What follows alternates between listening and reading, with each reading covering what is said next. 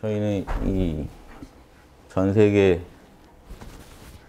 영성 공부의 이제 최, 최전선에서 한번 우리가 인류 정신 문화를 한번 개척해 보자 이런 어떤 사명감을 가지고 지금 또 공부도 하고 있고 함께 이렇게 또 정보도 나누고 있고 합니다.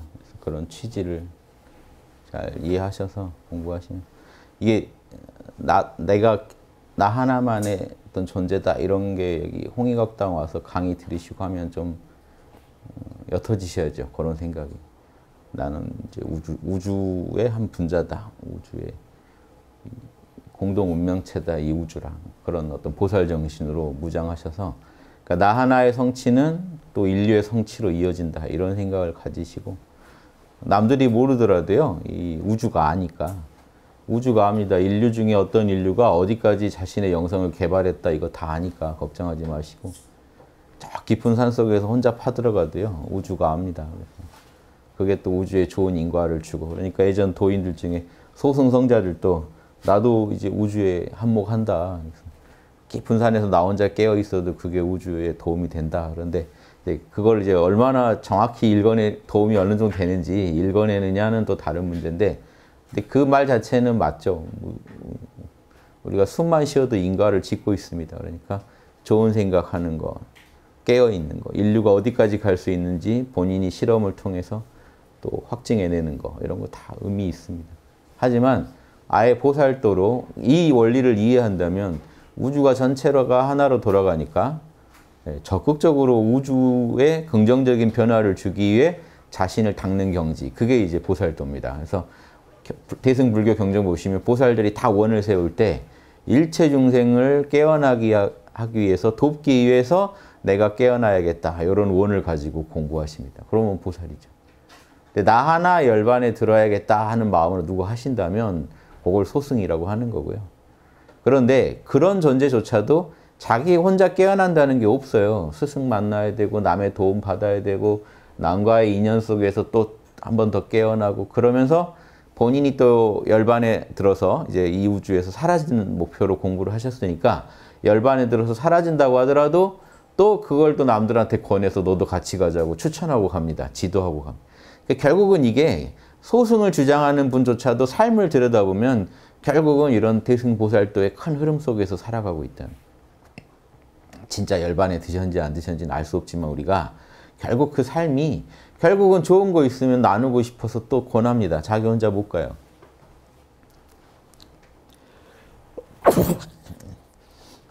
아주 그냥 소승만 강조하다 보면요. 우주는 각자 책임이에요. 그러니까 내가 열반에서 나 가면 돼요. 그 남은 또 남의 카르마대로 일이 일어나는 거니까 내가 신경 안 써도 돼요. 인도 문화에서 근본적으로는. 그런데도 어떤 여러 가지 명분을 붙여서 또 돕고 있습니다. 남한테 가르쳐 주려고. 이게 결국은 보살 정신이란 게 우주의 제일 밑바닥이라 그 자꾸 올라오는 거예요. 아무리 소승적으로 자기를 이 자기 정신을 세뇌시켜도 속에서 또 올라옵니다. 양식. 그러니까 저 산속에 혼자 계셔도 그 자연인들 아, 세계 평화 빌고 계시고 우주 잘 되길 바라고 있고 다 그런 마음을 해야 내가 편한 거예요.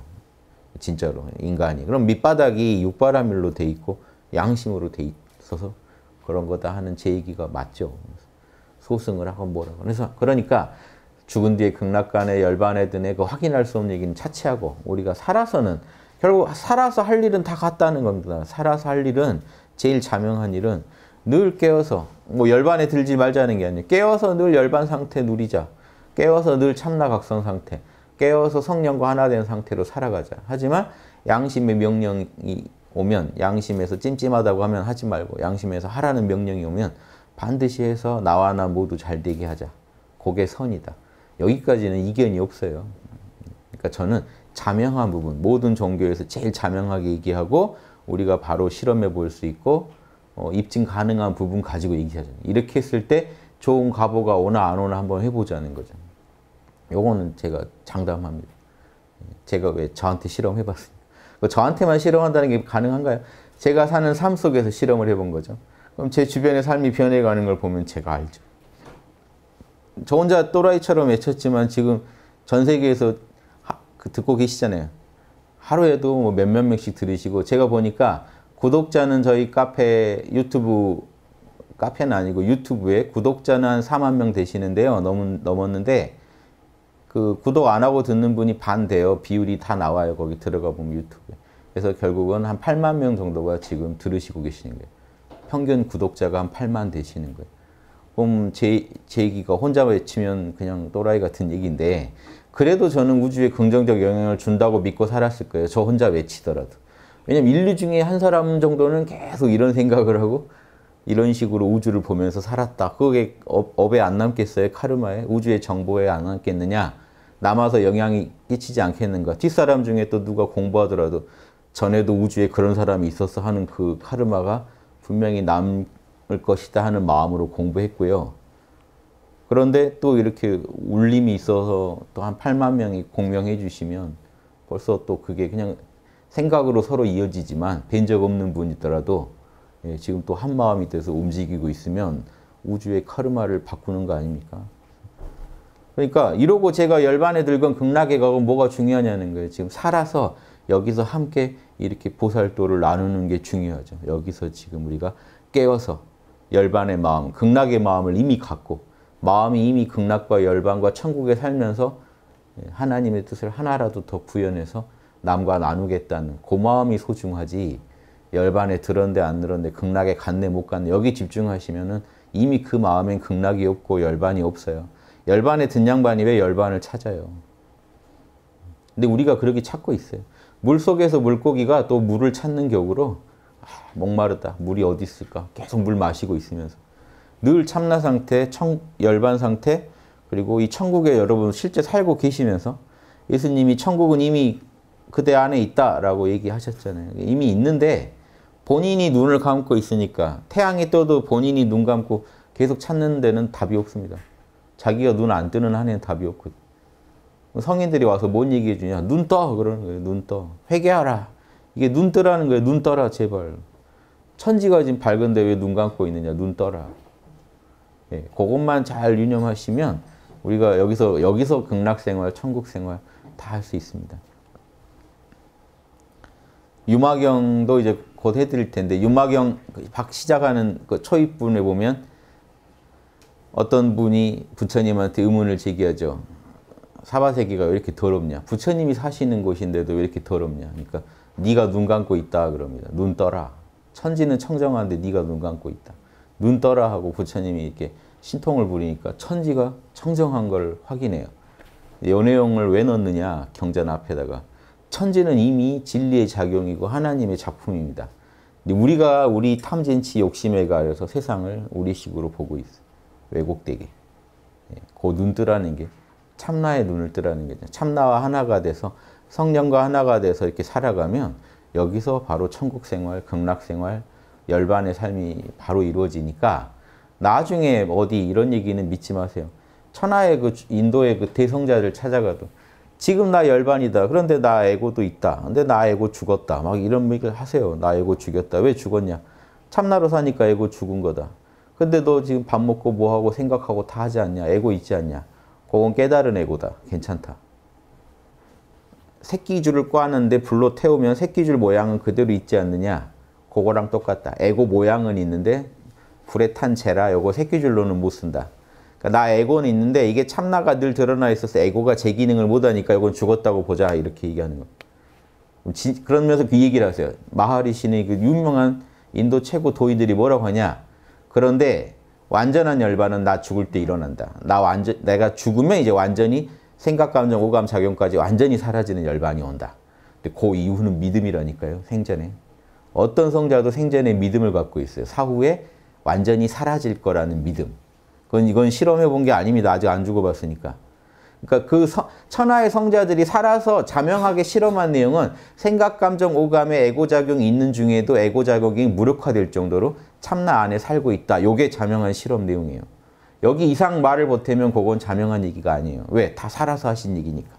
다 생각, 감정, 오감을 가지고 이 현상계에서 나와 남을 갈라서 남한테 그 얘기를 전해주신 거잖아요. 그런데 그런 분들이 완전한 열반에 든다라고 아무리 큰 소리 치셔도 그 얘기하는 동안은 다 살아계실 때라고요. 그러니까 사후에 어떻게 되는지 우리가 확인할 길도 없고요.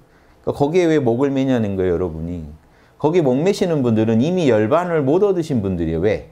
거기에 목 맨다는 건요, 이미 에고가 이 세상에 태어나고 싶지 않다는 강력한 탐욕 속에서 지금 이, 이, 이 성인들의 가르침을 듣고 이해하려고 하시는 거예요.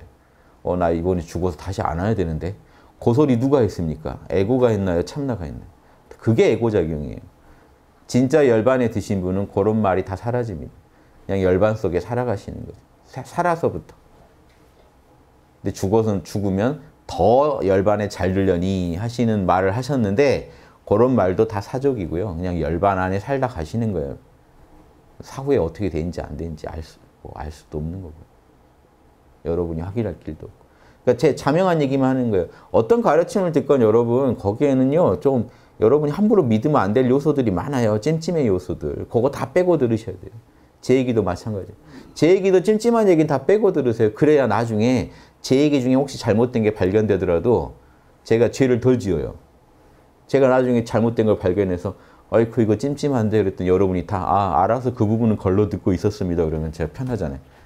죄를 덜 지은 게 되는데 지금 와서 이러시면 어떡합니까 하고 막 그걸로 막 주식 투자했고 나 다 했는데 이러면 제가 완전히 책임져야 될 게 엄청 커져요. 그런데 여러분이 자명하셔가지고 제 얘기 중에 좀 이상한 얘기 알아서 걸러 듣고 계셨다면 제가 나중에 어 그 부분 제가 제가 잘못 얘기한 것 같아요라고 했을 때 여러분도 안 그래도 그 부분이 좀 찜찜하더라고요 하고 서로 넘어가면 제일 깔끔하다는 거예요. 그래서 인류는 실수를 안 할 수가 없는 존재예요. 그러니까 계속 실수에 대한 대비까지 하고 있어야 돼요, 우리가.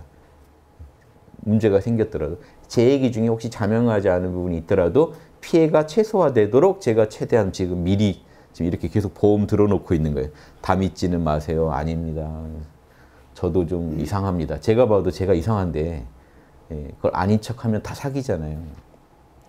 제가 저를 봤을 때요 철저한 중생일 뿐입니다. 제가 지금 오늘 아침에 봐도 어떻게 탐진치가 하나도 안 죽고 다 살아있습니다. 표현이 조금씩 더 세련되게 나오고 있을 뿐이지 그 근본 성질이 하나도 안 가고 다 있습니다. 어리석음을 많이 지혜로 바꿨겠죠. 하지만 이 어리석음 자체가 어디 안 가고 있다가 나를 계속해서 또 어리석게 만들어놔요. 계속 오판하게 해놔요. 어쩔 수가 없어요. 탐욕이 저를 끌고 가요. 어쩔 수가 없어요. 탐욕이 안 이루어지면 또 가슴이 뛰어요. 어쩔 수가 없어요. 분노가 일어나요. 어쩔 수가 없어요. 요 성질이 어디 안 갔다는 거예요. 그런데 제가 깨어있음이 강해지면 요 성질이 덜 드러나요, 밖으로. 왜? 참나 구현하느라고 요게 덜 드러나요. 육바람일 하느라고 이게 덜 드러나요. 그렇게만 만들면 우리 도인 되는 거예요. 똑같이 갖고 있는데 요게 발병을 못하게 막는 거예요. 그 시간에 우리는 육바람일을 자꾸 해버리면 한 가지에 몰입하면 한 가지를 덜 하게 돼 있습니다. 그러니까 예수님이 두 주인을 못 모신다 그러는 게 하나에다 몰인하면 하나가 하나에 소홀하게 돼 있다는 거예요. 그러니까 내가 돈과 하나님을 똑같이 모셔야지 그건 안 된다는 거예요. 하나님을 더 모시라 이 얘기죠. 그러면 이런 무력에 대해서 좀 더 소홀하게 돼 있다 우리가. 그래야 인간이 중을 잡아요. 둘 다 똑같이 모시겠다 그러면 이게 결국은 어느 한쪽을 소홀하, 소홀히 하게 돼 있다는 거예요. 그러니까 우리는 계속 누구를 더 중시하느냐만 봐야 돼요. 그게 제가 항상 강조하는 제가 양심, 욕심, 얘기할 때 항상 드릴 말씀 있죠. 51% 이상. 요, 요거가 아주 1%가 중요합니다. 1%의 힘. 1%가 강해지면서 판을 바꿔요. 1%가 2%가 되고 3%가 돼서 상황을 바꿔놔요. 진정시켜놔요. 그 1%가 밀린다. 그럼 또 밀, 끌려가는 거예요. 그쪽에. 요거 하나가 아주 결정을 합니다. 마지막 딱 한 수예요. 여러분, 이 돌탑이 무너질 때도요, 막 이렇게 쌓다 보면 무너지죠? 마지막 하나 올렸을 때 무너져요. 그 돌멩이 하나가 그렇게 중합니다. 그거 안 올려놨으면 안 무너졌는데 그거 하나에서 끝나요. 사실 그거 하나만으로 끝난 거 아니지만 상황 속에서 그 하나라는 걸 엄청 의미가 커요. 여러분 욕심과 양심이 싸우는데 1%라는 건 엄청난 의미가 있어요. 그때 이 1%를 응원해 줄 수 있는 게 여러분 몰라와 자명입니다. 몰라 하고 정신을 리셋시킨 다음에 에고의 소리를 좀 조용하게 한 다음에 너 자명해 라고 물어봐 주는 게요. 그게 상황을 바꿔버려요. 이렇게 매일매일 자기 내면에서 카르마를 변형시키는 혁명을 계속 경험하시지 않은 분, 그리고 그 혁명을 성공으로 이끌어보지 못한 분이 어떻게 남을 리드하고 남에게 보살도를 가르쳐 줍니까? 그런 분은 어떻게 우리가 도인이라 그래요? 진리의 맛에 취해 사시는 분은 맞는데 도인이라고 못해요. 본인도 길을 제대로 못 걷고 있고 남도 그 길로 인도를 못 하는데 어떻게 그 길도자를 써서 도인이라고 합니까? 길을 아는 사람인데.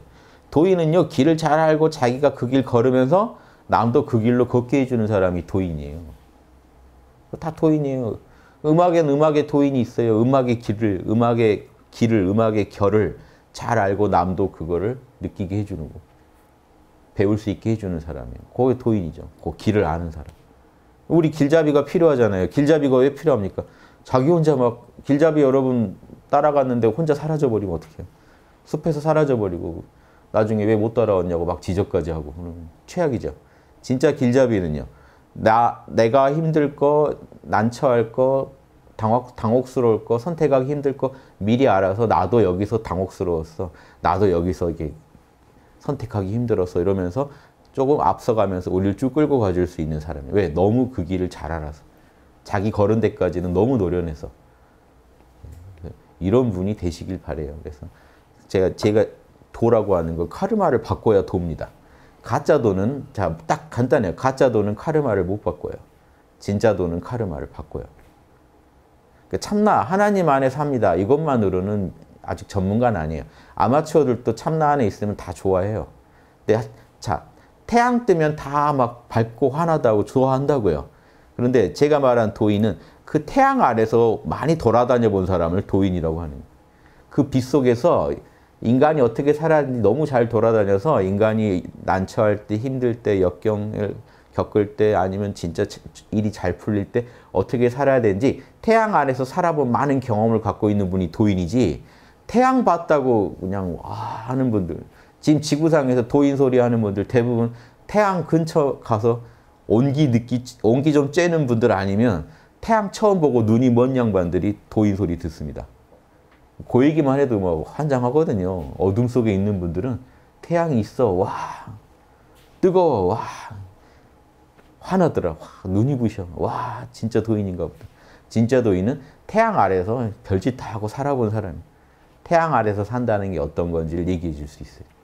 참나 안에서 산다는 게 어떤 건지 얘기해 줄 수 있어야지 참나 만난 기쁨만 자꾸 얘기한다. 고 태양 처음 본 양반이에요.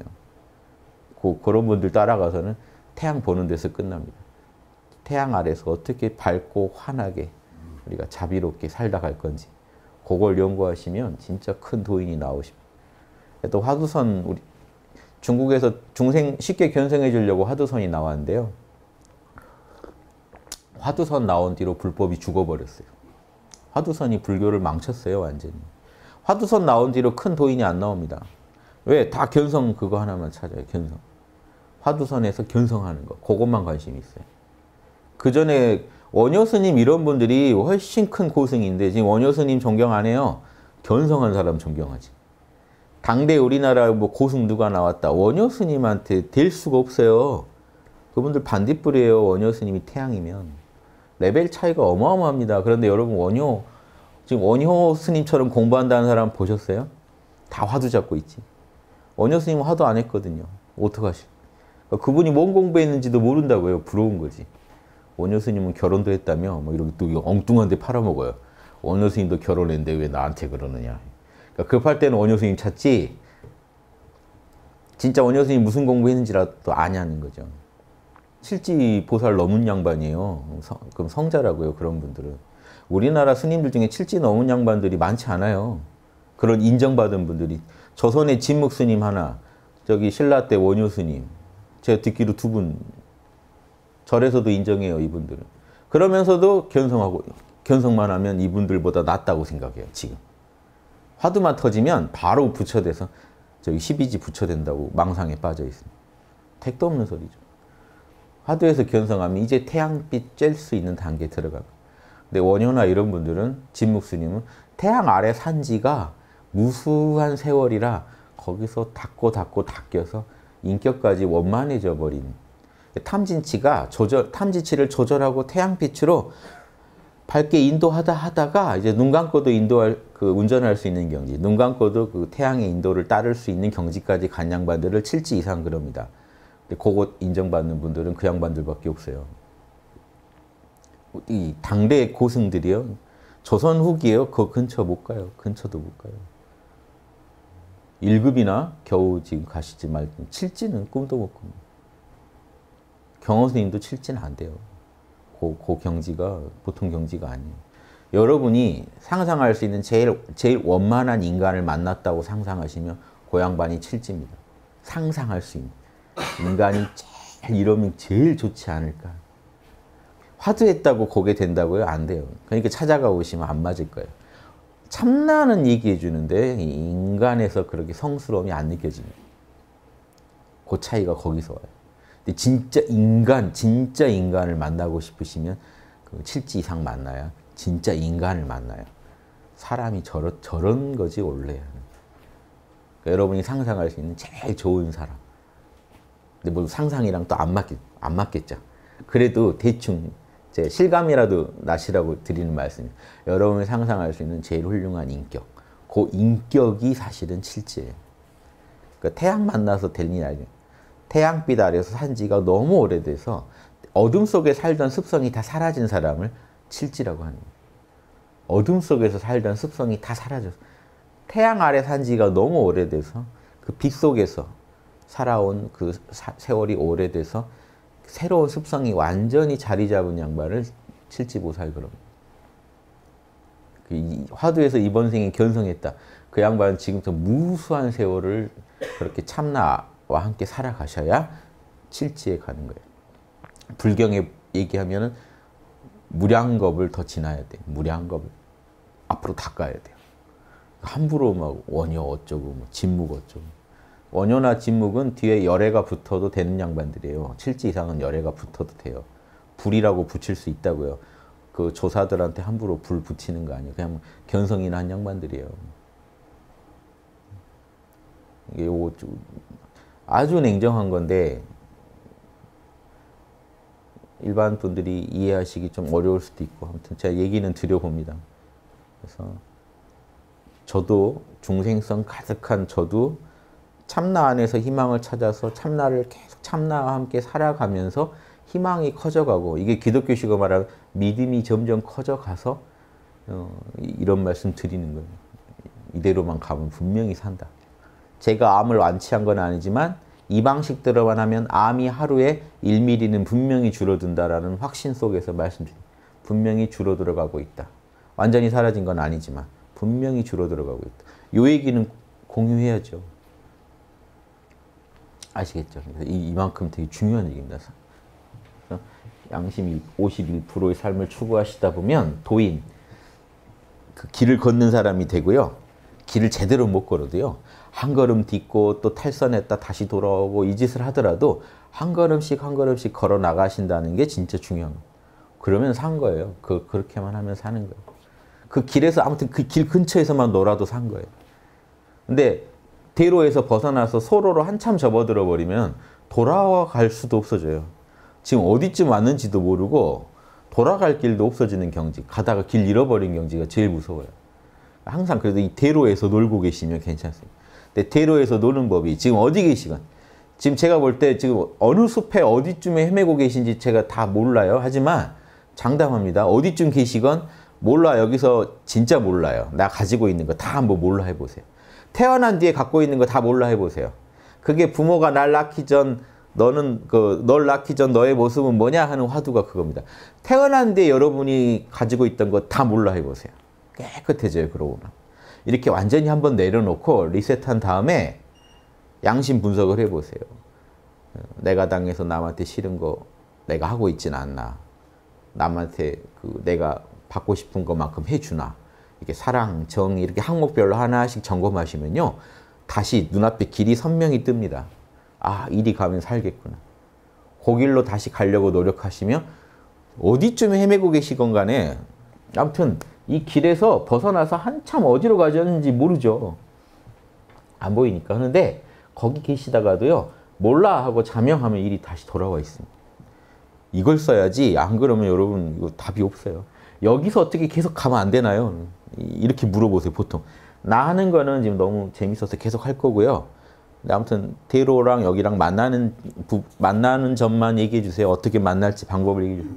여기 답이 안 나와요. 몰라 하세요. 대로는 양심 그대로의 길이에요. 이쪽은 이미 어떤 욕심과 편견을 가졌으니까 한참 옆으로 빠져나온 거죠. 그거는 계속 채워지면서 나는 대도를 걸을래요. 그러면 이게 안 돼요. 아까 예수님이 둘 중에 하나 선택해라 라고 하는 게 이겁니다. 요건 요것대로 취하고 요건 요것대로 다 취하려고 하면은 안 된다. 하나의 더 줄을 돌아 이거예요. 대, 대도를 걸을게요. 줄을 두면 그 안에서 여러분이 가진 욕심도 또 채워진다니까요. 음. 먼저 하나님 나라와 정의를 구하면 의식주도 해결해 줄 것이다 하는 게 너가 원하는 욕심도 채울 수 있게 될 것이다. 그러니까 하나에도 줄을 두라는 거예요. 하나를 아예 버리라는 것도 아니에요, 저는. 다만 어디다 더 줄을 두, 방점을 어디다 둘 건지 그 부분은 마음에서 결정하시라. 양심 51% 결정하시면 어디에서 헤매고 계시건 이리 와 있어요. 근데 욕심 51% 결정하시면 계속 가는 거예요, 그 길을. 막장까지 가는 거예요, 저러다가. 막장까지 가서 길 없음 나올 때까지 가죠. 그러니까 막장까지 가면 이제 그때 되면 마음이 자명해지면서 또, 또 돌아오는 분들은 돌아옵니다. 좌절하는 분도 계시겠지만 그때라도 깨어있는 분들은 또 돌아옵니다. 아, 이 길이 아니네. 하나는 자명해졌네. 이 길이 아니란 건 확실해졌네. 이렇게 긍정적인 분들은 어떻게 또 돌아와서 다시 걷는데 빨리 돌아오시라는 거예요. 막장까지 가보기 전에. 왜냐? 이미 모든 길이 이, 이 길로 가면 막장을 만날 거다고 얘기하는데도 본인만 혹시 모르잖아 하고 가고 계신 그 상황이 벌써 어둡잖아요. 그래서 드리는 말씀이에요. 빨리빨리 돌아오는 법이 지금도 말, 많이 안 나가셨더라도 빨리빨리 지금 쓰세요. 수시로. 나는 한참 가서 몰라 해야지 그러지 마시고 한 걸음 내딛었는데 자, 자신 없으면 빨리 몰라 해서 몰라 자명 물어보면 탈선하다가 돌아오고 하다가 돌아오고 이게 제일 좋은 상태예요. 그래서 그 공자님이 자기 제자 안자를 칭찬할 때 불원복 광복할 때 복자입니다. 멀리 가지 않아서 멀리 가지 않아서 불원복 멀리 가지 않아서 다시 돌아와 있다. 안자가 공자님 제일 수제자인데 그러니까 살았으면 공자보다 더 높았을 거다고 해서 중국 고전에서도 안자를 공자님보다 더 높게 치는 장자나 이런 데는 안자를 더 높게 쳐요.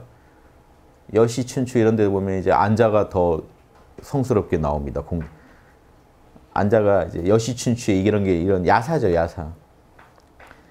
밥을 했는데 안자가 어렵게 안자가 쌀을 구해와서 밥을 했는데 공자님이랑 다 제자들은 지금 굶어서 눈 돌아가는 상태예요. 안자가 밥을 어렵게 구해와서 밥을 하는데 안자가 뭘 몰래 먹는 것 같은 거예요. 공자님이 볼 때. 어, 저거 봐라. 나중에 쓱 찔러봐요. 그래서 어, 이 밥을 나는 부모님한테 이제 좀 제사상에 올려야겠어. 막 이런 식으로. 좀 이거 부모님한테 좀 영전에 바쳐야겠어 이 밥을 그러니까 안자가 어 안 됩니다 이 밥은 제가 하나 먹었습니다. 그 밥에 재가 떨어져서 제가 버리기 버리려다가 아까워서 먹었습니다. 이 밥은 제사상에 올리면 안 됩니다. 이렇게 공자가 이제, 이제 뭔가 이렇게 그 얘기를 다 자백하세요. 내가 사실 의심했었다 그게 여시 춘추에 나와요. 그러니까 공인된 얘기는 아닙니다. 그러니까 후대에 나오는 얘기인데 이 얘기는 뭐냐면 후대에 뭔가 안자를 더 높게 보는 경향이 신기하게 있어요. 장자에도 안자가 더 높게 나옵니다. 공자가 나도 너를 따르겠다 막 이런 말을 하는 그러니까 좀 그 공자님은 약간 놀림감처럼 나오고 장자에 안자만큼은 장자에서도 계속 꿋꿋하게 성스럽게 나와요. 그러니까 이 안자라는 존재가 서른셋, 넷에 요절하신 분인데 서른넷 그러죠. 요절하신 분인데 그 신기한 분입니다. 그래서 너너의 공자님도 안자를 얘기만 하면 안자야 늘 깨어 있어야 된다. 네. 뒷말이 없어요. 그러니까 공자님도 답답한 거예요. 아, 나한테 도움이 안 된다. 이런 말까지 한적 있어요. 안자는 나한테 도움이 안 된다. 칭찬이에요, 이것도. 내가 뭔 말만 하면, 네. 뭐, 엉뚱한 얘기를 해야 나도 가르치면서 느는 건데, 그러지 않겠어요? 늘 깨어서 육바라밀을 해야 한다. 네. 거기서 탄 거예요. 어, 이거 이상한데 바보 아니야? 그래가지고 바본가 해가지고 뒷조사를 시켜봤더니 진짜 다 하고 있는 거예요. 공자님이 한 말은 다 하고 있는 거예요. 그걸 보고 안자는 절대 어리석지 않도다. 논어에 나와요. 안자는 바보가 아니다. 그 바보 바보 같을 정도로 선, 선생님이 얘기하면 네 하고 가서 해버려요. 무서운 양반이죠. 여러분 그렇게 안자처럼 하시면 지금 제 강의 알기 진짜 편할 텐데요. 저는 환영입니다. 늘 깨어 계셔야죠. 네. 곰은 늘 깨어 있어요. 어, 육바람을 해야 됩니다. 네, 육바람을 하고 있어요. 제일 편하겠죠. 어떻게 보면. 네.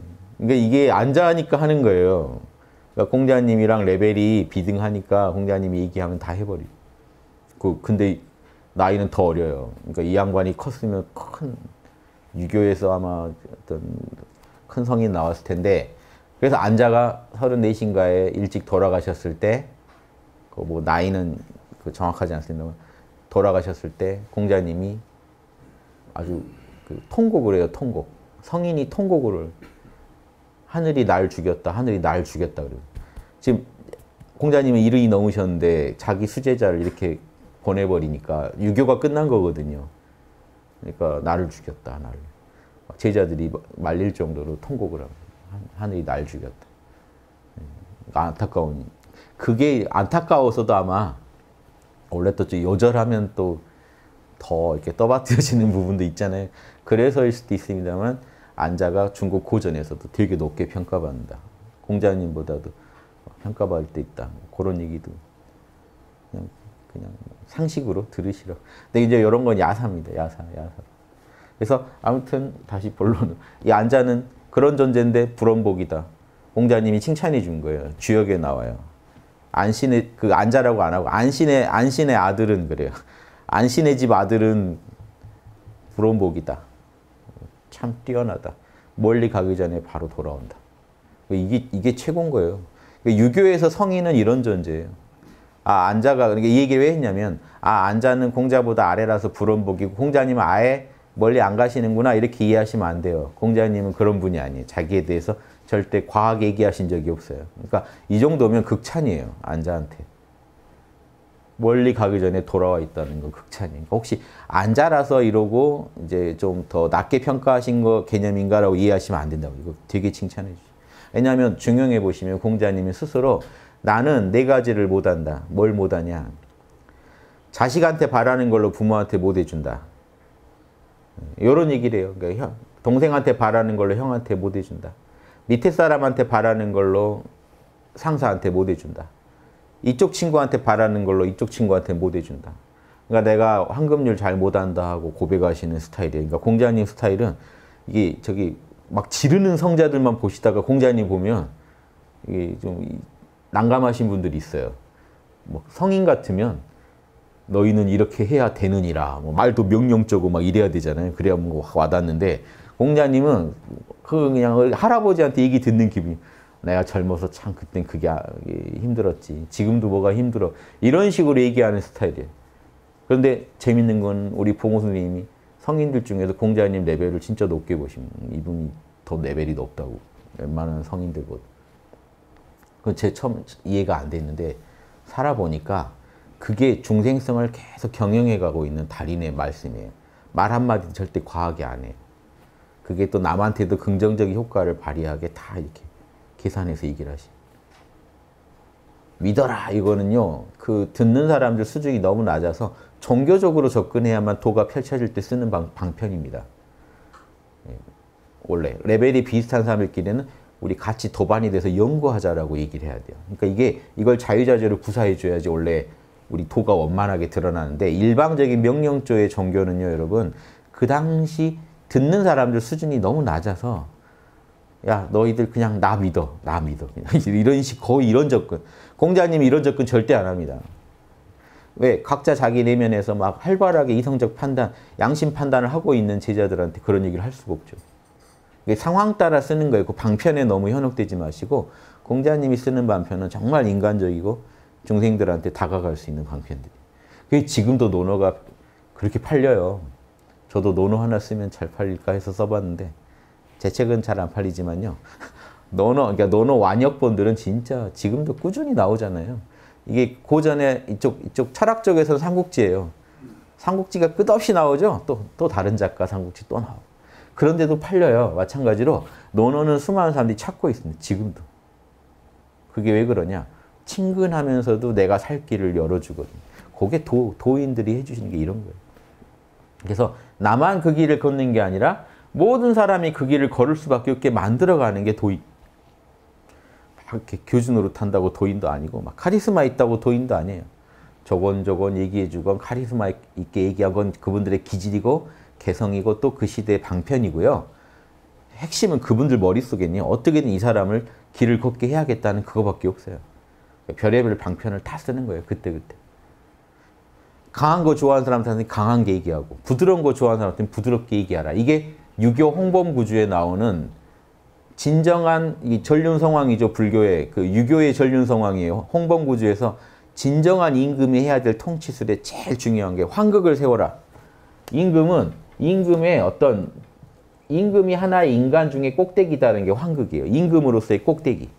인간 중에 제일 모델이 돼야 된다. 그래야 백성들이 따라온다. 근데 그 환극이 취해야 할 어떤 덕이 있어요. 세 가지 덕. 그 세 가지 덕이 뭐냐면 첫째 정직. 마음을 항상 양심 그대로 쓸 것. 두 번째, 세 번째가 뭐냐면 그거예요. 그런데 부드럽게 대해야 할 사람한테는 부드럽게 대해라. 세게 대해야 할 사람한테는 세게 대해라. 사실은 정직이 정법이고 부드럽고 강함은요 방편이에요. 이걸 삼덕 그래서 환극의 삼덕으로 해놔요. 임금은 그것만 잘하면 된다. 항상 양심에 충실할 것 정법이고요.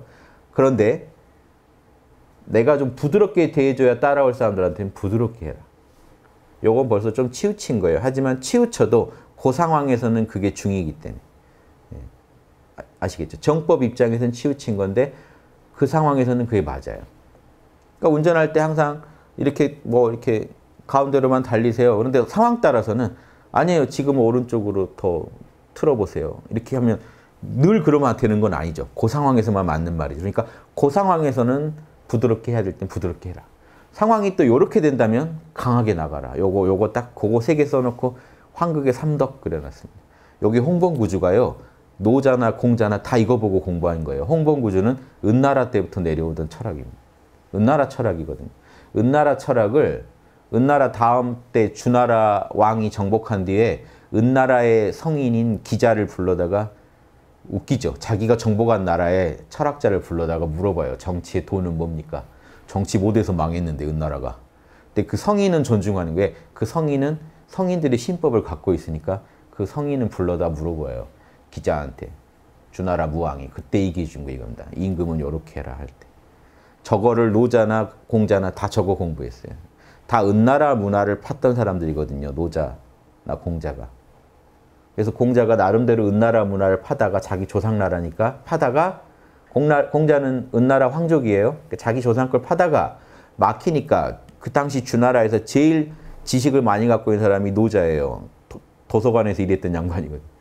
왕립 도서관을 맡았던 양반이라 그래요. 그러니까 노자한테 찾아가서 물어본 거예요. 옛날 옛날 철학, 옛날 문화를 물어본 거예요. 옛날 성인들이 다스리고 가르칠 때는 어떻게 했나요? 하고. 그러니까 공자님도 다 성인들 가르침을 구하고 구해서 그 경지에 들어간 겁니다. 그러니까 노자 같은 스승도 모시고 하면. 우리도 공부 그렇게 해야 돼요. 끝없이 뒤지고 찾고. 양심에 관해서는 성인들이 뭐라고 해놓으신 거 있죠? 그게 성경이건 뭐 코란이건 뭐건 다 뒤져서 여러분 찾아내야 돼요. 예전 성인들이 어떻게 살다가는지 다 찾아내서 지금 내가 양심 구현하는데 조금이라도 도움이 된다면 다 구해서 지식은 지식대로 확보하되 여러분이 하셔야 할 거는 늘 몰라와 자명 속에서 양심의 길을 계속 걸어가 주시는 거. 힘들어도 너무 멀리 가시기 전에 돌아오고 돌아오고 탐진치에 빠졌다가 다시 양심 51% 회복하고 돌아오고 이런 식으로 꾸준히 이 각자 내면에 있는 신성 하느님 안에서 한 걸음 한 걸음 나아가 보는 거. 그게 하느님의 명령을 제일 중시하는 유교 문화도 천명이 제일 중요하거든요. 하느님의 명령. 그래서 그 공자님이 그래요. 아프셔서 이제 말년에 돌아가시기 전에 그 아프실 때 제자가 와서 하느님한테 기도했냐고. 그러니까 병 낫게 해달라고 기도했냐고 물어요. 그러니까 그 당시 그 문화 알겠죠. 하느님한테 기도하던 문화예요. 공자님 학당. 그병 낫기를 기도하시냐고 그러니까 공자님이 그래요. 늘 기도하고 있다. 그러니까 따로 기도를 드릴 필요가 없다. 나는 늘 기도하고 있다. 제일 무서운 거 하느님의 명령입니다. 이게 기독교랑 다를 것 같죠? 똑같습니다. 실제로 구약하고요. 서경 읽어보시면 거의 내용이요. 진짜 흡사해요. 서경의 마인드가 은나라 주나라 그 공자님 이전에 왕들이 써놓은 행정문서거든요. 행정문서에 하나님이 이렇게 명령하셔서 이렇게 해야 되고 우리 내, 내 돌아가신 조상은 하나님 오른편에 계시고 이런 식 하나님 옆에서 보필하고 계시고 그래서 제사 지낼 때 하나님한테 제사 지낼 때 자기 조상 왕 조상 왕들도 같이 같이 제사 지내는 거예요. 하나님 옆에서 보필, 보필하고 있다고 봐서. 그러니까 구약적 마인드 속에 살아요. 이쪽도 동양식도 거의 유사하게 하나님과 인간을 하나로 연결해서 그 세계관 속에서 살았어요. 그게 그대로 이어진 게 공자님한테까지 그대로 이어져 있거든요. 그러니까 공자님은 되게 종교적 문화 속에서 사신 거예요. 늘 하나님한테 기도하고 하나님한테 제사 올리고 하는 문화 속에서. 그래서 천명을 중시하고 예절이라는 거. 늘 하나님의 명령대로 살아가는 걸 그렇게 중시하는 그게 기독교 문화랑 다르지 않아요. 혹시 기회 되시면 성경 많이 보신 분들은 유교 서경을 성경 오, 이름도 비슷하네요. 성경 보신 분들은 서경을 한번 보세요. 서경. 그게 은, 하은주 3대 왕조 때 행정문서 모음집인데 행정문서 자체가 되게 종교적이고 철학적이고 그, 그, 그 한번 참고해 보시면 좋습니다. 그래서 이 인류 삶에 이런 게 예전부터 그냥 들어와 있었어요. 우리가 예전 사람들을 미개하네 어쩌네 이렇게 함부로 재단하시면 안 돼요. 미개한 사람은 언제나 미개해요. 지금도 미개해요. 미개한 사람. 근데 똑똑한 사람은 언제나 있어요. 똑같은 똑같은 거 하는 사람이 어느, 어느 시대나 있어요. 그렇죠? 저 아프리카 지금 가도 한 명은 또 하늘 보고 있, 는 사람이 있어요. 분명히. 우주 읽어내는 사람이 있다고요. 인간의 삶을 읽어내는 사람 꼭 있어요. 그 사람이 현자고 인디언들 중에 그런 사람이 있으면 아파치 되는. 어느 시대나 어느 곳에 있습니다. 하늘이 그 중에 제일 머리 밝은 사람 하나 보내놔요. 그 리드, 리드 하라고. 근데 그 양반이 임금이 될 때도 있고 스승이 될 때. 임금 못하면, 임금은 좀 소시오가 하고 있으면 그런 양반들은 스승이 돼서 활동해주고 어떻게든 중생을 도와야 되는 게 사명이라. 인류는 계속 그렇게 지금까지 굴러온 거예요. 구약도 그런 내용 써놓은 것 뿐이에요. 근데 다른 문화에도 다 있다고요. 그 내려온 전승이. 동양, 동양대로 내려온 전승이 있어요. 그게 이제 서경에 적혀 있어요. 그래서 왕이나 스승으로 계속 내려와가지고 도인들이 이어갑니다. 문명을 이어가요. 우리가 문명 하나 이어가는 게 그냥 가는 것 같죠? 그 제가 이제 이왕 마무리 짓게 있는데 도 얘기했으니까 우리가 걸어야 할 도는 인도예요, 인도. 인간의 도. 그냥 아무 도나 걸으시면 안 되고 인간의 길을 걸으셔야 돼요. 인간이 이런 거다 하는 그 길. 그럼 인도는요. 걷는 사람, 이 길을 걸어본 기능 보유자 있죠. 무형문화재 같은 기능 보유자가 있으면 누구 따라 걸어간 사람이 나오고요. 그 사람이 없어지면 도가 끊어집니다. 즉 길은 있는데 아무도 안 걸어서 황폐해져요. 여러분 지방 가보면요. 국도나 그런 데 있죠. 도로가 새로 뚫리면서 기존 도로에 있던 휴게소를 가보세요. 흉가가 돼 있어요. 폐가가 돼 있어요. 사람이 안 쓰면 그 얼마 전까지 그렇게 번성했던 휴게소가 길 이제 아, 일이 안 다닌다 하는 순간 거기는 바로 사람 손 안 타면서 흉가돼 버리고 마찬가지로 이 인간의 길이 무형의 길인데 육바라밀의 길이 우주에서 제일 넓은 길인데 걷는 사람이 많으면 온 우주가 화엄 세계가 돼서 그 육바라밀의 꽃으로 우주가 장식될 텐데 아무도 안 걷잖아요. 그럼 그 길은 없는 길이 돼요. 뭐 인간들은 탐진치의 길만 죽어라 가요. 예수님이 말하는 좁은 길로는 안 가고 이제 넓은 길로만 엄청 다니는 거죠. 다니기 편하니까. 욕심 부리면 그냥 그 길에 서 있으니까. 근데 그 우리가 여기서 볼 때는 다 탈선이죠. 양심의 길 외에는 다 탈선인데 양심의 길을 걷는 이가 없고 다 다른 길로만.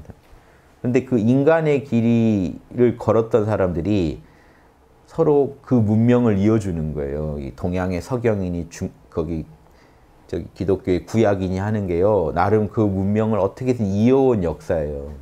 양심 아는 사람들이 천명 무서워할 줄 아는 사람들이 소시오패스들이 창궐하는 탐진치가 창궐하는 세상에서 양심의 그 맥 안 끊어지라고 계속해서 서로 생을 바쳐서 이어온 거예요. 문명을 불을 안 꺼지게. 제가 이게 불을 들고 있으면 뒷사람 불 붙여주고 죽어야 되잖아요. 근데 제가 먼저 가버리면 불 끊어져요. 붙여주고 가고 붙여주고 가고 어떻게든 그게 또 어떨 땐 또 꺼져요. 꺼졌다가 하늘이 또 다시 불씨 또 살려서 해서 또 그게 이어지고 이렇게 어렵게 어렵게 인류가 문명이라는 거를 문명 그러면요 물질 문명, 정신 문명 다 얘기할 수 있지만 지금 일반적으로 예전 성인들이 문명 그러면 양심 문명을 말해요. 정신 문명. 요 문명이 끊어지면 사람이 아니거든요. 그러니까 지구상에 사람이 멸종하는 거랑 똑같아요. 그러니까 고등 침팬치는 넘쳐나는데 사람이라는 게 사라져요. 사람은 동양에서 인외지해야 사람이거든요. 그러니까 서양에서는 양심과 이성 따라야 사람이거든요. 그러니까 똑같아요. 관점이 기독교식으로는 하나님 자녀라야 진짜 사람이잖아요. 그런데 하나님의 형상대로 안 살아요. 아무도. 그게 문명이에요. 진짜 인류가 누려야 할 최고의 문명은 인간이 양심 따르는 그 문명 속에 살아가는 건데 그 문명이 끊어질까 봐 성인들이 나와서 계속 임금으로 스승으로 나와서 민간에서 아니면 국가적으로 계속해서 그 문명을 유지하려고 노력해온 역사입니다. 인류사가 한마디로. 제가 역사 전공에서 뭐 전공 공부 많이 한 건 아니지만 대학 때부터 역사책을 많이 봤는데 이 공부하다가 인류 역사를 보니까 딱 제 눈엔 그렇게 보여요. 구약도 포함하고 뭐 동양의 모든 경전을 다 포함해서 인류는 이렇게 살고 있다 하는 게 딱 보여요. 문명 이어가는 게 결국 저도 그거 해야겠구나. 이게 그 백수 시절 그거 각오는 단단했습니다. 제가. 예, 그래서 사회에선 나를 필요로 하지 않는구나. 하지만 우주가 날 필요로 하는구나. 사회에선 저를 필요하다고 아무도 얘기 안 했어요. 근데 우주에서는 우주는 나를 필요하다고 자꾸 연락이 오는 거예요. 인류 문명 끊어지게 생겼어. 이어나 다시 복원해. 이게 계속해서 제 안에서 울림이 있어서 어, 되게 제 에고는 힘들더라고요. 겨우겨우 양심 51% 겨우겨우 붙잡고 버텨온 겁니다. 하루에 한 49%는 제 걱정하고 있고 51%는 우주 걱정하고 있고 그래서 겨우겨우 이렇게 균형이 무너지지 않고 걸어온 게 제 백수 시절 연구해온 경험인데요. 그러다 그러다 겨, 겨우 이제 여러분들과 의견 나눌 수 있게 됐고 이제 많이 퍼져서 제가 얼마나 기쁘겠습니까? 문명을 바꾸는 얘기예요. 문명의 전환에 대한 얘기고 저는 새로운 문명을 여러분들한테 제시해 드리는 거고 이게 예전 성인들이 늘 써왔던 누려왔던 문명이고요. 새로운 것도 아닌데 새로운 게 아닌데 엄청 새로운 게 돼버린 거예요.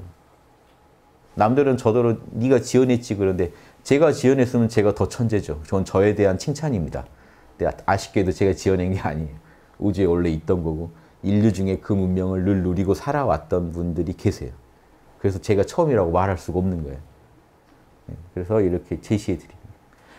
공, 공자님이 아까 그 제가 야사 얘기해 드렸죠. 공자님이 되게 죽을 지경에 처하실 때가 있어요.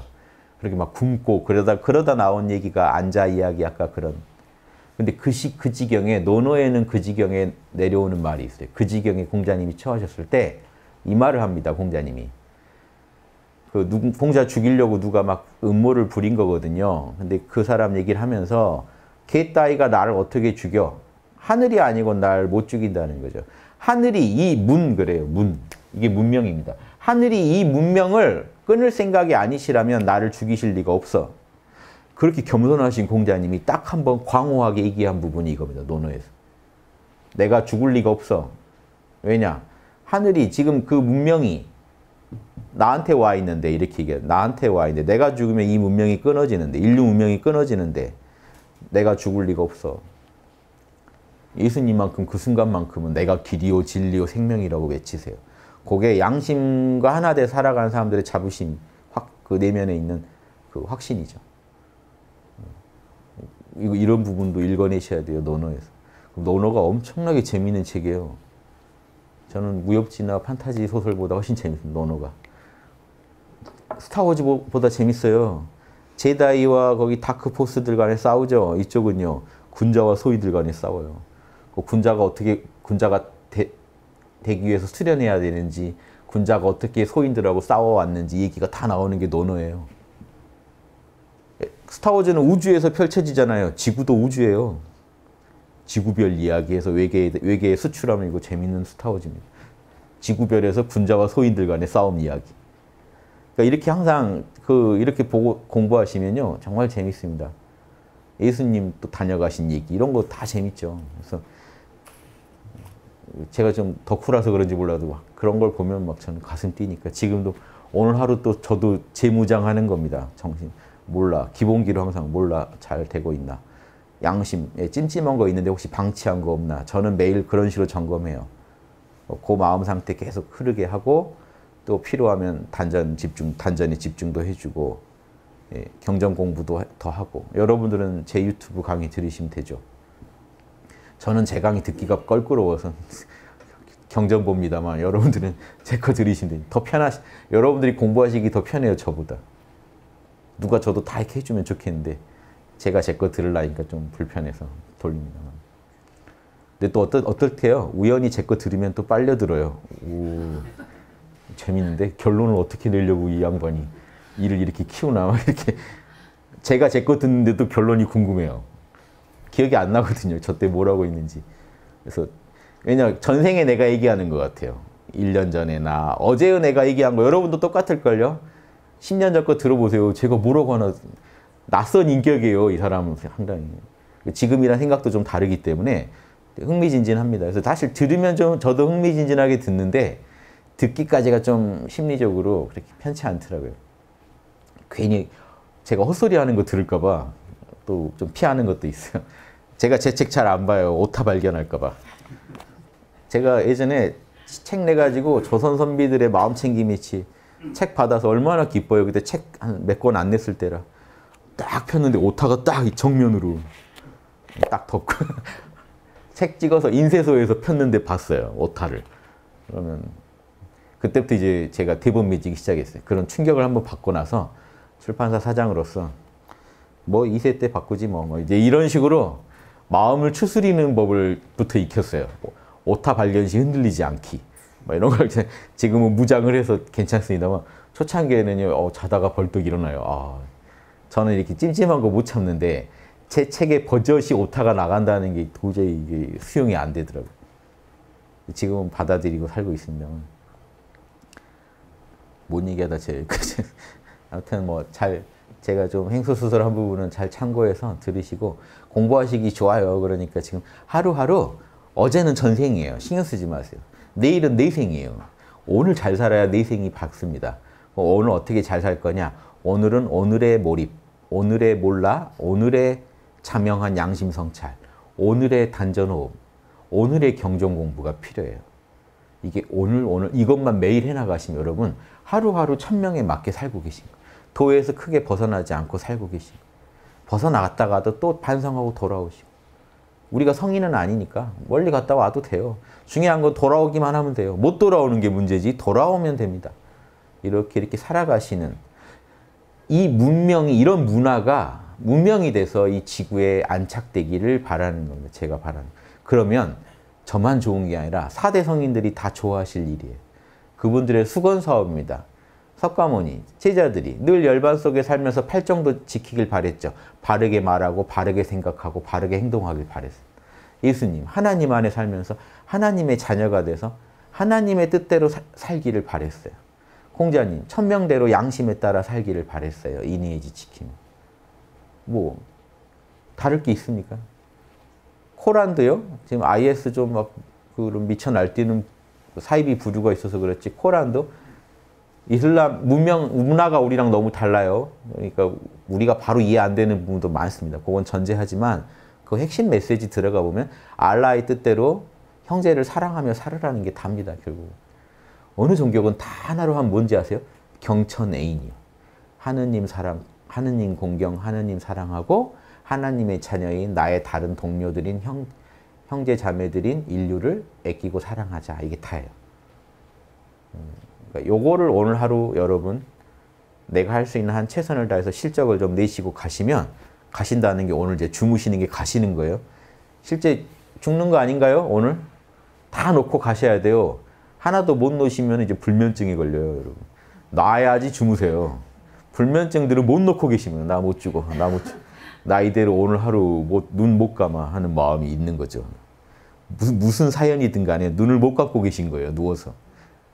푹 주무셔야 내일 충전해서 또 일어나잖아요.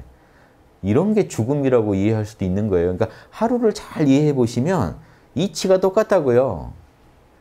우주 만드는 원리가 똑같아요. 생사나 주야나 공부해 보시면. 그래도 에고는 사실 잘 납득이 안 돼. 똑같은지는 알겠는데 싫어. 이런 이런 마음이 있거든요. 저도. 그래도 오, 그 이치를 자꾸 따져보다 보면 진리에 대한 수용이 일어납니다. 그러면서 여러분 인격이 또 다듬어지고 지혜가 더 밝아지고 그냥 이렇게 사시는 거예요. 이렇게 살자 하는 얘기를 제가 드리는 거예요. 제일 자명한 거. 지금 우리가 체험하는 오늘, 오늘 여기서 어떻게 닦을 거냐 얘기만 전 하고 싶은 거예요. 그러면 미래는 당연히 좋을 수밖에 없으니까. 인과법 때문에. 이 얘기 어디서 시작해서 어디서 끝나는지 잘 모르시겠죠. 그래서 저도 모르겠습니다. 그래서 그냥 양심에서 나오는 대로 막 짓거렸으니까 잘, 잘 정리해서 들어주세요. 예, 마치겠습니다.